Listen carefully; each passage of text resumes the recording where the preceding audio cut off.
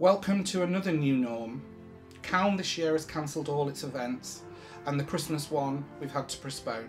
But the one thing we couldn't do is cancel the light switch on. So we're doing it virtually. I'm at home the same as a lot of you are, keeping safe indoors. But before we do switch on our lights, I do want to say a few thank yous, and that is to you, our community. You've come together in droves this year, neighbours have helped neighbours, friends have helped friends. We've seen new community groups form to help deliver food, parcels, prescriptions, and generally just help by a helping hand having a chat with somebody that may be in need. We've also got to thank the key workers, our NHS, our emergency services, that have all worked tirelessly to help us keep safe and well so far this year. And they'll be working really hard over the Christmas period to continue that. Also, we've seen our high street close for nearly three months, and our independent traders in our small town will and have really struggled. But with the local shop campaign, which is Love Calne Shop Local, which we launched in July, this has significantly helped to bring people back to shop locally.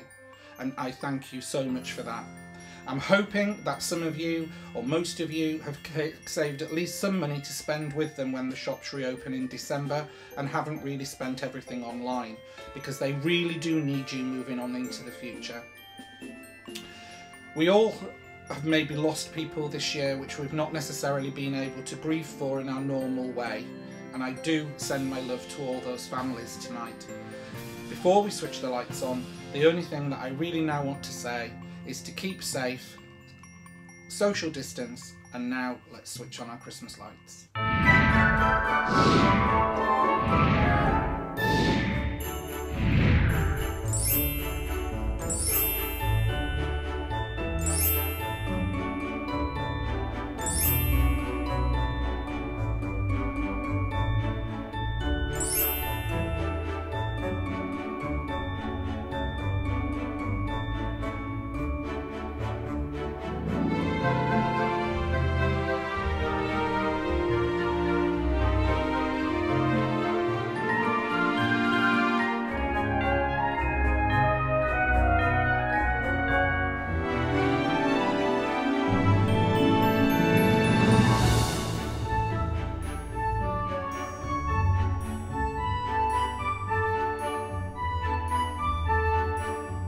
So, have a really, really Merry Christmas and let's hope for a fantastic new year in 2021.